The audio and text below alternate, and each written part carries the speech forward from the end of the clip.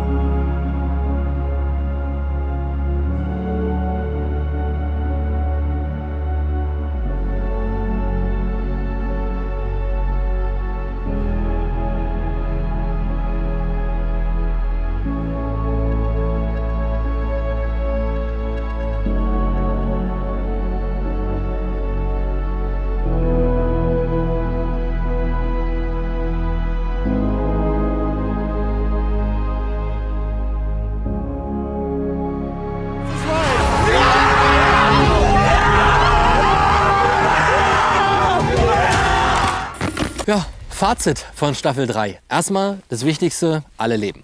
So, das ist immer das Wichtigste und natürlich auch, dass keiner jetzt krass verletzt ist. ne? Der eine oder andere hat vielleicht ein paar Kilos äh, abgenommen, äh, dafür schöne Erfahrungen gesammelt oder auch Erfahrungen gesammelt, die er vielleicht nicht nochmal braucht in seinem Leben. Ist ja auch was wert. Ja, ich würde sagen, dass das die Staffel ist bisher, die am meisten Varianz geboten hat. Ne? Von Wildchen, von der Location, von den Teams, von dem, was passiert ist, von den Charakteren. Super spannend und einfach geil. Und ich glaube auch, klar, ich bin Teilnehmer, aber auch aus Zuschauersicht ein gelungenes Projekt.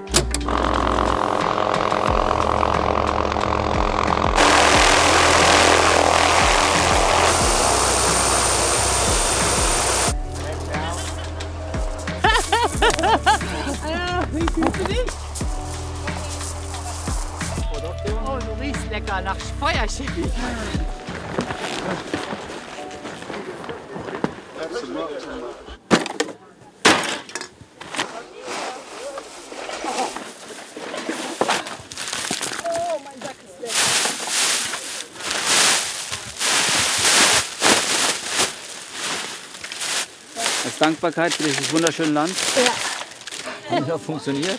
nee, das wir nicht. Fahren wir den Dreck erstmal weg, das sortiere ich in Ruhe gleich. Gut riechenden Weißt du, Mann. ich, rie ich rieche wie ein Schwein. Seit zwei Wochen nicht geduscht. Das Meer ist so arschkalt. Ja, das, war, das wissen wir. Also,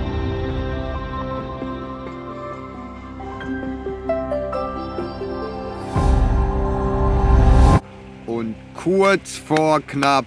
Okay, Jan Fulcent, du gehst rein mit keinem Gewisseren als Joey Kelly. Kein Problem.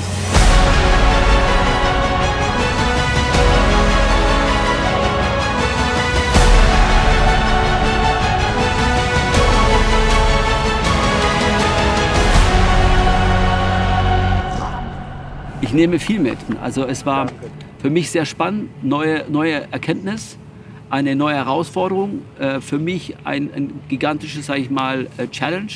Danke einfach, nur danke, dass ich dabei sein darf, dass, dass man halt ähm, das machen darf, dass man immer noch die Power hat, das zu machen.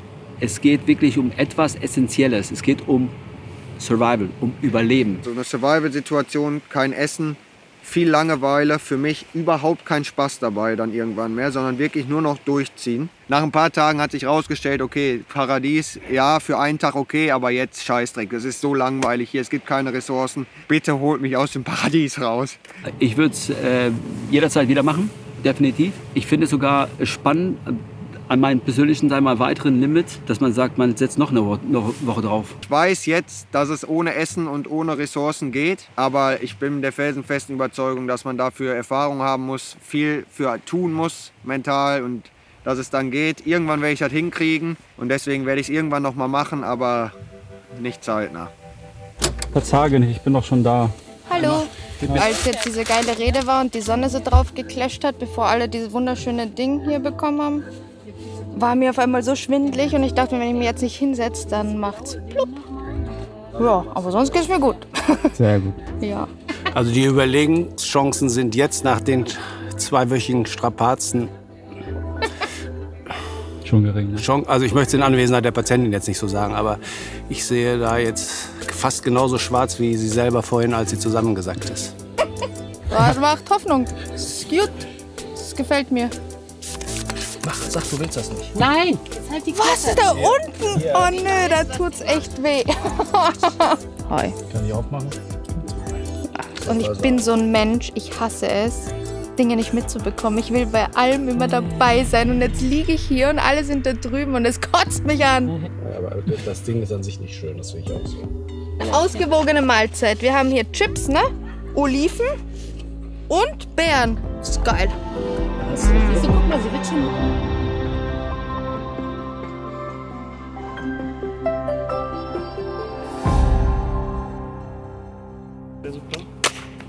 War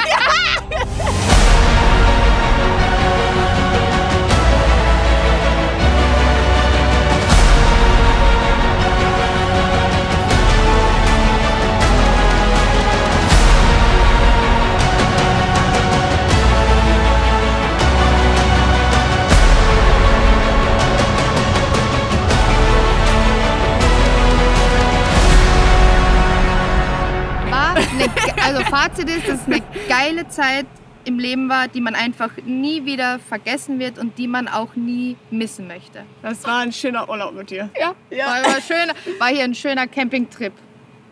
Ich glaube, dass wir da, obwohl wir so verschiedene Menschen sind, das kann man sich nicht vorstellen, wie Tag und Nacht, haben wir dieselben Werte. Und das ist das, warum wir so gut durchgekommen sind. Flasche einfach geil. Darf man das so ganz Flasche eingebildet sagen, die das war so wirklich gut. geil. Wirklich, im Wir haben Nachhinein. das so oft erwähnt und uns überlegt und dachten so, das ist jedes es. Item Das ist so krass ausgewählt. Müssen wir jetzt ein Item benennen, was uns wirklich gut gefallen hat im Vergleich zu den anderen, dann würden wir beide vermutlich das Multitool wählen. Da war alles dran. Zum Abkochen haben wir halt immer die Zange gebraucht. Das heißt, ohne Multitool wäre das einfach echt kacke gewesen. Und was wir nicht so gebraucht haben, ja, die Säge hätte nicht sein müssen, weil wir halt kein Baumaterial hatten. Selbstverletzung. Und was? Ich würde es auf jeden Fall wieder machen. Äh, mit dir nochmal 14 Tage irgendwo.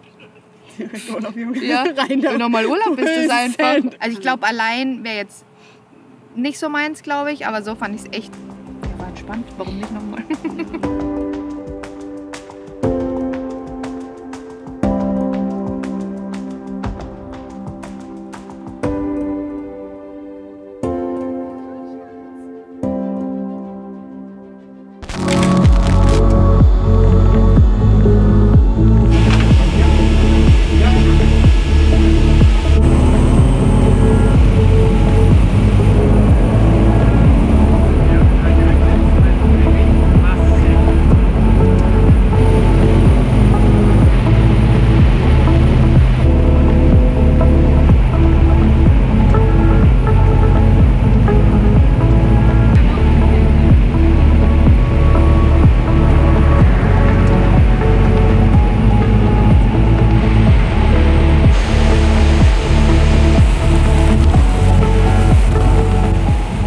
no joke wie eine Landung aus einem Cartoon, Alter. Ja, ja, der war noch schlimmer als der erste. Ja, Alter, Mann.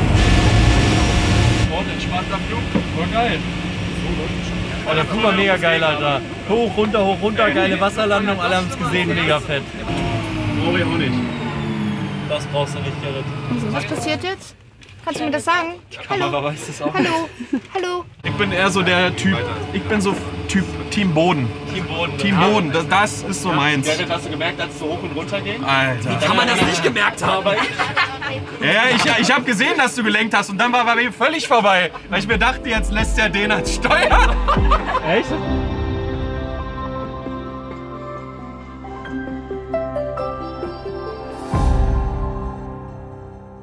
Und dann, dann ging's los so.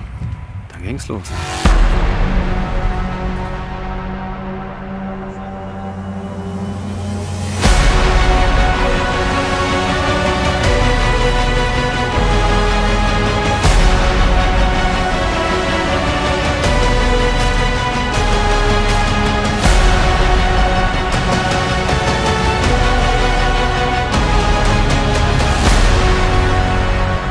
Egal wie Also- abgefuckt wir waren oder so, es war trotzdem mega.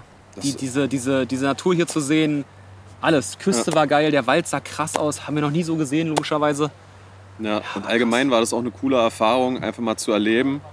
Du merkst halt richtig, was eigentlich in deinem Leben wichtig ist. Ja. Ich habe so in letzter Sekunde von meiner Frau einen Schal mitgegeben bekommen. So, den hat sie noch mit Parfum eingesprüht.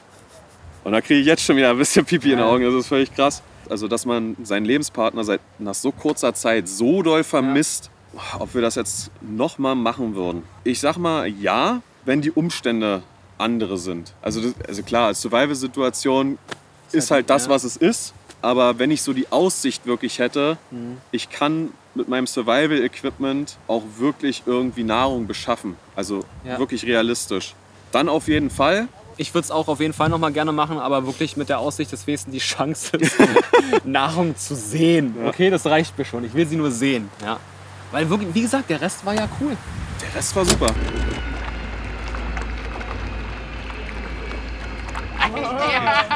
Mach mal das Selbstexperiment. Mike, nicht nochmal, Fakt. Thank you. You bet.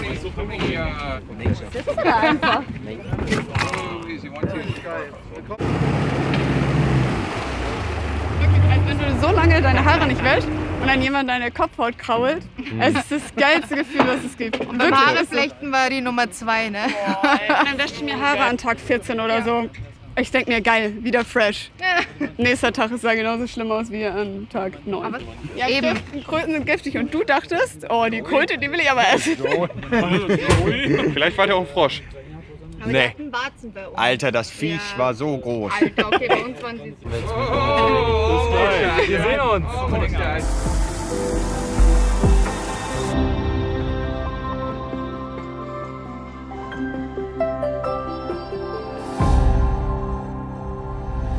Nee, war gut, war krass. Life is a learning, life is a lesson. Und manche haben Süßwasser, manche nicht. Ja. Du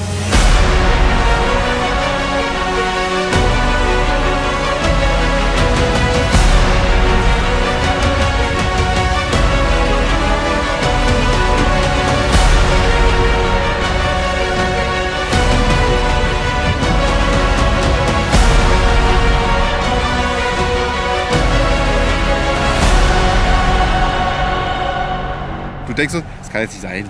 Das kann es doch jetzt nicht gewesen sein. Also es gab auch viele Momente, wo wir, auch wir haben ja lange drüber gesprochen, Ja. was machen wir, was können wir noch ausprobieren, haben wir wirklich alles gemacht, was gibt es für Optionen, wollen wir noch eine Nacht länger bleiben, um zu gucken, aber was soll sich da verändern? Ja. Und es gab immer wieder Momente, das war total komisch, wo wir in dieser Situation übel viel grinsen und lachen mussten, aber das war eher so ein Überspielen aus Verzweiflung, wo du sagst so, es kann doch nicht wahr sein, dass wir keine. Lösung dafür finden.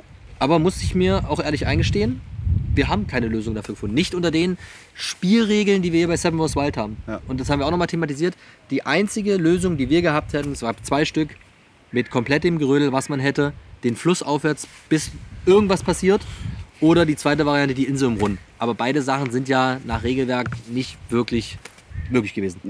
In einer realen Situation wäre das quasi kurz knapp vor Tod gewesen. Wir haben es natürlich nicht so weit kommen lassen und wir haben uns jetzt auch nicht überkrass dehydrieren lassen. Aber wir hätten quasi die Variante gehabt mit all unserem Zeug oder was man in so einer Situation halt hätte, vielleicht auch sehr, sehr wenig, irgendwie auf Teufel komm raus, diesen Fluss immer weiter, weiter ins Landesinnere, ähm, wäre man halt irgendwie rein. Ähm, Oder, ja, man, es, oder man hätte die Insel umlaufen. man hätte die Insel umlaufen, das wäre auch eine Variante, um einfach aus, diesem, aus dieser Frontlinie rauszukommen.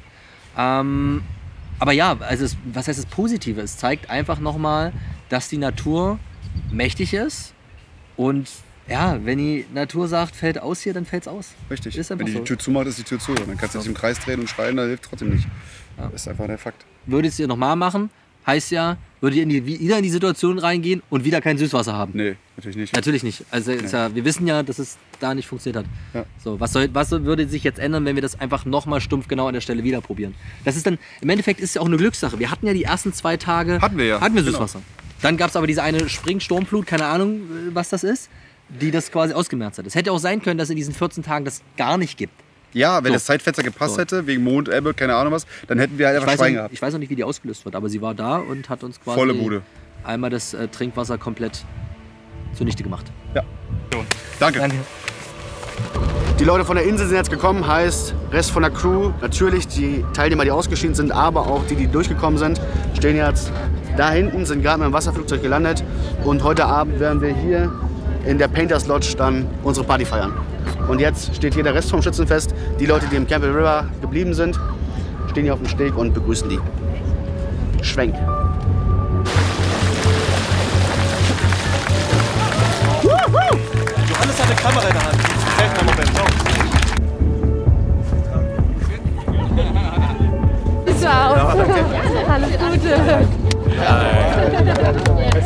Irgendeine Staffel geben, in der die Leute, die hinter der Kamera sind, auch mal ein, zwei Wochen in die Wildnis gehen. Ich will dich mal gerne sehen, wie du das machst. Dich, Max, Rico, das würde ich mir wünschen. Wenn ihr das auch so seht, eins in die Kommentare. Das wäre mal... Ja, was? mm. Ja, das ist. Äh, Ja, mach doch mal. Das ist nicht zu toppen, was du hier gemacht hast. Ach komm. Ich hab schon gesehen. Ah, was? Super. Ja, ja.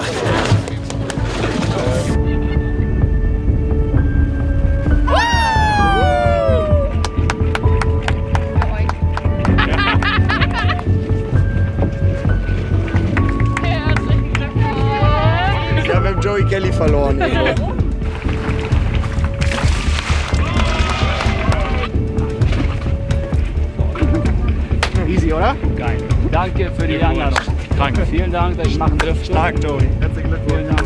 Hammerleistung. Riesen Respekt. Danke. Gerne. Aber die wichtige Frage ist, konntest du dein Bauprojekt abschließen? Ja, es wäre natürlich weitergegangen. In vier Wochen hätten wir zwei Etagen. Aber es war, es war gigantisch. Danke, dass du da warst. Ich danke. Wirklich Ich danke. Mega Bereicherung. Die Community hat sich so gefreut, als du zugesagt hast. Also, Ich dachte, YouTube ist irgendwie so, so ein paar Jungs.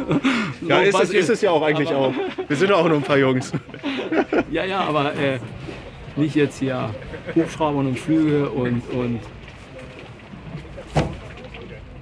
Geil. Hollywood. Danke fürs Lob. Ich danke.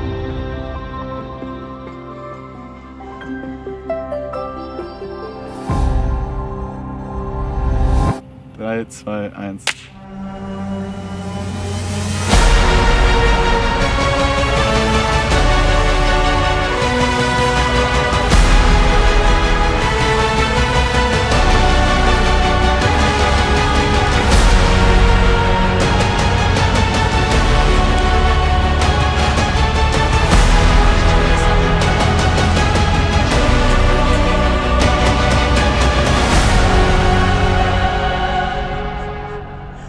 krassesten Gedanken, die ich so hatte, als ich dort war, war wirklich so, ey, hoffentlich geht's irgendwie Familie gut, Freundin, hoffentlich machen die sich nicht so Sorgen, wer weiß, wenn da irgendwas ist.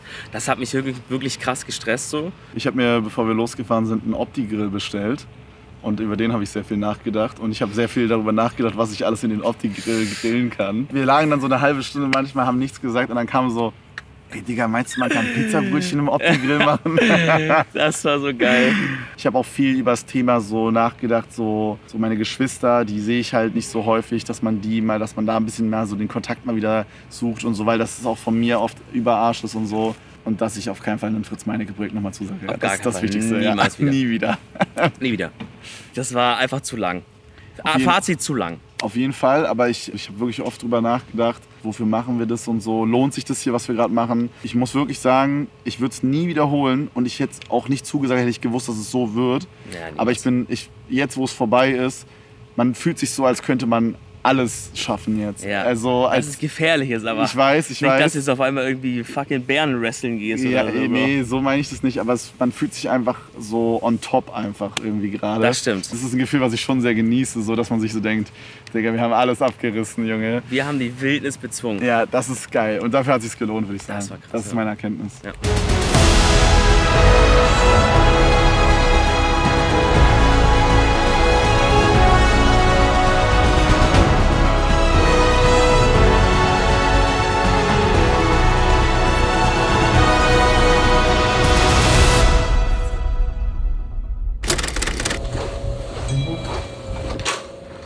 Hallo. Wir sind Hast du das? Hast du Tropf? Nee, nee, ey, ich bin einfach so schwach durch die ganze Scheiße. Mir dieses Ding in den Arsch gesteckt, gesteckt und alles. Apfelmittel. Was hast du dir in den Arsch gesteckt? Ja, das ist die Flasche da. Apfelmittel. Diesen Trichter und alles. Ja, weil- weißt du, warum das gekommen ist? Ja, Kaka hart wie Knochen. Der Magen hat ja gar nicht mehr gearbeitet. Für 14 Tage. Ich hab mir das Ding, ich saß da wie ein Fisch an der Badewanne, nackig lag ich da ums Klo drumrum, Todesschmerzen. Und gar keine Kraft mehr. Und dann schwarz vor Augen. Jetzt auf der Schüssel, du bist weg. Weißt du, was ich meine? Und ich brauche jetzt von dir eine Kochsalzlösung, so wie man sich das gibt als Superstar. Von den ganz großen Konzerten, wenn man den Abend vorher zu viel getrunken hat. weißt du, letztes Jahr war es genauso. Ja. Erinnerst du dich? Wie letztes Jahr. Ich sag, ich habe letztes Jahr, das hat mir auch gut geholfen. Da war ich gleich wieder bei Kräften. Das ist wirklich das, was ich brauche. Bloß der Arzt ist diesmal kein Kfz-Mechaniker.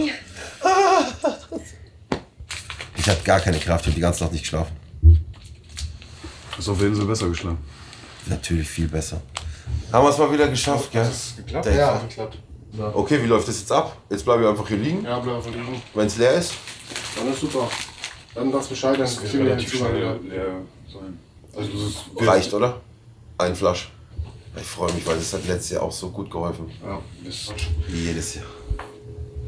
Das letzte Mal. Ja, das ist wirklich das letzte Das letzte Mal, dass wir alle hier gemeinsam sitzen und einen Tropf anschließen. Ich kann echt sagen an der Stelle, Seven Wars Ach so, 2, ja, nach ja, zwei ja. Staffeln. Das war eine krasse Erfahrung, aber das war's, war's von mir. Macht die. Plätze frei, nominiert Ähm, mich nicht mehr. Ich hätte mich sonst nie, ich hätte mich auch nie nominiert. Man wollte noch mal, dass ich komme, nicht mehr nominieren. Ich bin raus. Out. Seven Wars Wild.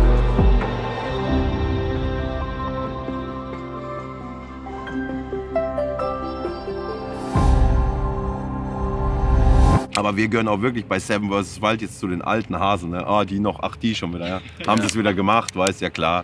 Gell?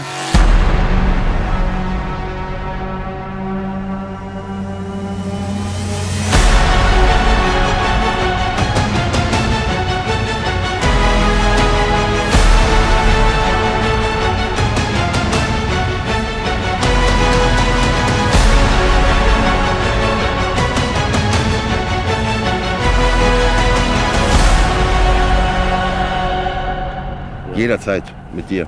Immer wieder. Fre sind wir Freunde fürs Leben jetzt? Von meiner Seite definitiv, ja. Okay, von meiner auch. Wir sagen jetzt bei drei die Highlight-Items, also ein Highlight-Item bei drei. Eins, zwei, drei, Netze. Angelnetz. Und das beschissenste bei drei, eins, zwei, drei, Trinkfilter. Strohhalm. Ja. Ey, wir wissen es ganz genau. Unsere Flasche Was war sonst perfekt. Ob wir das Ganze nochmal machen würden. Bin mal gespannt jetzt bei Sascha Huber. Da bin ich aber jetzt mal Ja. gespannt. Also wir haben das Ganze jetzt zweimal durch, Panama und jetzt hier auch äh, Kanada. Und wir haben gesagt, in Zukunft wollen wir die Plätze frei halten für die anderen Zuschauer. Es sollen andere jetzt da, da durchziehen. Ich glaube, wir haben, wir können sagen, wir haben das für uns, für uns einfach gut geschafft und treten jetzt mit Stolz ab. Und äh, sollte es jemals irgendwann wieder sein, dann stehen wir nicht mehr zur Verfügung. Oh, wir sind aber doch mit so. Stehen wir Was? nicht mehr, zu, nicht mehr nominieren. Bitte nicht nominieren. Was? Diese Gefühle, die du da draußen hast, die man erlebt, wir hatten das jetzt. Es ist zweimal gewesen, es ist zweimal anders, trotzdem ist es irgendwie ähnlich, dieses Survival-Ding. Wir haben jetzt da alle, alle Facetten erlebt. Ich habe meiner Familie versprochen, ich bin nicht mehr so lange weg. Es ist jetzt fertig. Für mich ist das Thema jetzt fertig. Und ich glaube, die Leute wollen auch bei der nächsten Staffel auch mal ganz andere Leute sehen. Ey, danke für die Zeit, danke für die Zuschauer, danke, dass ihr alle dabei gewesen seid. Es war super. Ohne euch dürften krass. wir das nicht wieder machen und wir können nur Danke sagen, dass ihr auch auf Panama uns alle so krass unterstützt habt, auch hinter der Kamera, vor der Kamera, die Zuschauer. Vielen Dank, echt. Und du meintest ja, Dave, ob wir es den anderen empfehlen können. Ja. Und ich glaube, das ist was. Nein. Wir haben gesagt, zwei Wochen, zwei Wochen ist vielleicht gar nicht nötig. Ist vielleicht wirklich nicht nötig, auch nicht eine Woche. Weil es wird sowieso keiner machen. Was wir wirklich empfehlen können, ist, geht's mal raus, nur mit dem Wasser, esst mal nichts, Detoxing. Der Körper braucht es nicht immer jeden Tag kacken zu gehen. Geht mal raus. Am Ende eures Lebens, habe ich auch irgendwann in der Sendung gesagt, wenn du am Ende auf dem Sterbebett bist, wirst du nicht denken, wow, wie waren meine Fortnite-Partien damals, sondern du denkst darüber nach, wie deine Erlebnisse waren. Das, was du erlebt hast in deinem Leben. Nur darum geht's. Und nichts mit wem? Und mit wem du das erlebt hast.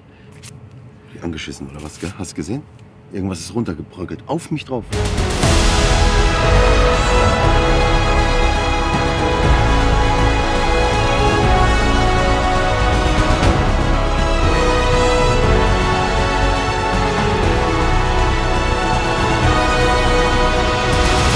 Und wir fischen auch im Meer. Wir haben es wirklich geschafft. Ja, mal so, mal so. Bärenländereien haben wir erkundet und mehr Bären gefunden. Auch die Flasche ist voll. Wir haben es echt geschafft. Easy. oh shit. Jawohl. Ja! 18, Ü18. Ja, ja, ja. Echt? Ja. Herzlichen Glückwunsch. Danke. Krass. Ja, ja Diese ein, Holz. eine Holz reingeschnitzt. Ey, Wann habt ihr Ja? Gestern. Krank, übelst Ja, vielen Dank, das ist sehr lieb. Dankeschön. Max sich verlobt hat. Ah, ja, ja, schon gratuliert. Ich habe gerade so im Vorbeigehen sie gesagt, ja, ja, ja, Hammer, Hammer. Das war ja oh, stimmt. Ich habe nichts mitbekommen. Krank, übelst krank. Ja. Herzlichen Glückwunsch. Stimmt, ja, geil, ist geil. Einfach, einfach verlobt. Oh, danke.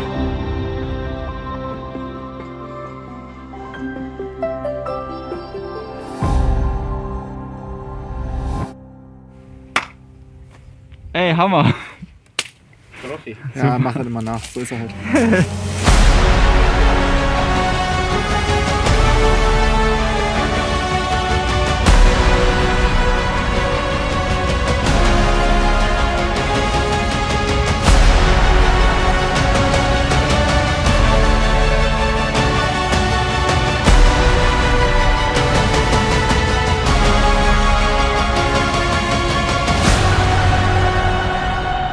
Also was ich hier mitnehme, ist auf jeden Fall die Erfahrung. Ich wusste nicht, wie es sich anfühlt, äh, so lange nichts zu essen. Einfach mal zu wissen, was der Körper, was der Körper kann, auch wenn man ihm keine Nahrung gibt. Also ich habe normalerweise so einen chronischen Husten und ein bisschen Asthma. Ich habe auch mein Asthma-Spray immer. Hast du selten benutzt? Habe ich selten benutzt, Du genau. hast dein Asthma-Spray nicht immer dabei. Ah, ich habe es nicht immer dabei. Ich habe es in, ich hab's in, ich hab's in Zelt gelegt, verdammt. Also die frische Luft, super geil. Ich fand halt die Landschaft und Natur geil. Es war also insgesamt das ganze Event, das, die, die, die Natur, selbst durch die Mangroven schlagen. Empfehle ich keinen, würde ich auch nie wieder machen, aber das einmal gemacht zu haben, so in der Situation, das war schon richtig geil. Bin, ich, bin, ich bin super, super froh und dankbar, dass äh, Fritz hier eingeladen hat. Wasserflugzeugfliegen auch geil. Ich liebe Flugzeuge sowieso. Würden wir es normal, machen? normal machen? Hier auf gar keinen Fall. nicht am selben Spot, ja. Ich würde die Experience einmal gerne mit Angeln und Essen haben. Das wäre cool, weil vielleicht beißt auch mal einen Tag lang nichts und dann bist du frustriert. So dieses, dieses frustriert und freuen vom Angeln und vom, vom Essen hatten wir ja nicht, leider. Und ich muss ehrlich sagen, 14 Tage finde ich sehr lang. Egal, was du 14 Tage machst. Wenn du 14 Tage nur zockst oder selbst 14 Tage Urlaub drehe ich ja durch. Ja, ja schon nach zwei Tagen Urlaub will ich wieder nach Hause und weitermachen. Halber Monat eine Aktivität Ja, durchziehen ist ist, auf jeden Fall hardcore, egal welche Aktivität, ja. Ja. Also es macht unglaublich Spaß, dieser ganze Survival Outdoor, weil das ein, einen stärkeren Kontrast zu unserem Gaming-Alltag gibt es nicht, zum, zum Stream. Äh, deswegen finde ich das wahnsinnig faszinierend. Ja, also nochmal mitmachen, wenn genug Zeit dazwischen ist. Ja, kann ich mir das sehr gut vorstellen. Ich würde auch nochmal mitmachen.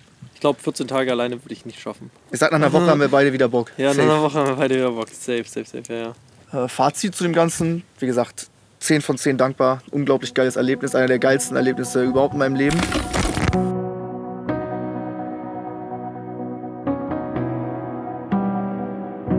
Seven vs. Wild ist Teamleistung. Was einst mit einer Handvoll Freunden gestartet ist, hat sich zu einem großartigen Team entwickelt. Dazu gehören neue sowie auch alte Crewmitglieder. Wir sind sehr dankbar, mit so vielen tollen Menschen zusammenarbeiten zu dürfen. Egal ob Kameracrew, alle in der Postproduktion, das Behind-the-Scenes-Team, das Produktionsmanagement, alle Medics, die Sicherheitscrew oder vor allem auch in diesem Jahr die First Nations. Gemeinsam haben diese Menschen für uns alle diese Staffel möglich gemacht. Vielen Dank, dass ihr ein Teil davon seid. 294 SD-Karten mit 3,5 Terabyte von unseren Kandidaten. Dazu nochmal so viel von der Kameracrew. Und 14,9 Terabyte Behind the Scenes. Das entspricht 300 Stunden Videomaterial, die wir für euch gesammelt haben. Der Moment, als wir wussten, niemand hat sich verletzt, alles ist gut gegangen, alle SD-Karten sind da. Wir müssen quasi nur noch ins Hotel fliegen und eine Abschlussfeier machen. Man hat gesehen, allen geht es relativ gut, außer Jens, der hatte ein bisschen Verstopfung. Aber Oh ja, oh ja, stimmt. aber, aber sonst ging es allen gut. Johannes, Johannes, ich glaube, ich, das war's mit mir. Kommt da so runter, so gehumpelt. Ich kann nicht. Ich saß auf dem Pott. Ich kann nicht. Ist schwarz gewesen. Nee, aber äh, die Abschlussfeier war dann so mein, auch einer der, der besten Momente, weil man gesehen hat einfach, dass alle gerade happy sind und dass es allen gut geht. Gefeiert haben wir in einer, ja, wie, was war das, so eine Lodge. Riesig, sah auch irgendwie geil aus von außen. Also mit Blick aufs Wasser. Nee, war, war top. Also mein persönlich größter Traum für das Format ist, wenn es vielleicht auch mal in anderen Sprachen stattfindet, dass ein YouTube-Format, was aus dem Nichts entstanden ist, zu einem internationalen Format wird. So, das wäre total crazy, wenn es dann auf einmal, eine, weiß ich nicht, in den Staaten eine Staffel gibt, in Spanien, keine Ahnung. Das wäre cool. So, das wünsche ich mir. Ich wünsche mir für das Format, dass es den Ursprungsspirit für immer beibehält, diesen ja, Anfangsmut, sag ich mal, etwas komplett anders zu machen, auf eigene Kappe, auf eigene Faust. Man muss es nicht so machen, wie wir es gemacht haben, so mit dem Kopf durch die Wand und volles Risiko, das ist vielleicht auch ein bisschen dumm. Aber so ein Stück weit so diese, diese Abenteuerlust auch äh, mit in die Produktion zu nehmen, ähm, das würde ich mir wünschen. Selbst wenn es, äh, keine Ahnung, in zehn Jahren ohne Fritz, ohne Max und mich stattfinden sollte, selbst dann wünsche ich mir, dass dieser Spirit da einfach noch da bleibt und alle einfach Bock auf das Projekt haben. Authentisch. Es muss immer authentisch bleiben. Und echt. So, Staffel 3 ist rum. Wir haben viel erlebt. Wir haben aber auch natürlich in der Staffel 1 und 2 viel erlebt, sowohl ich persönlich als auch äh, ihr als Zuschauer. Jetzt natürlich die große Frage, Staffel 4. Was macht man?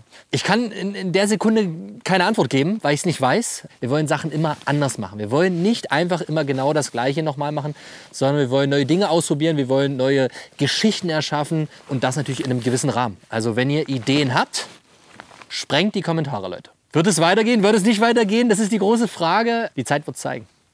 Sehr schön. Dankeschön. Gracias. Das hat Spaß gemacht. Sehr gut.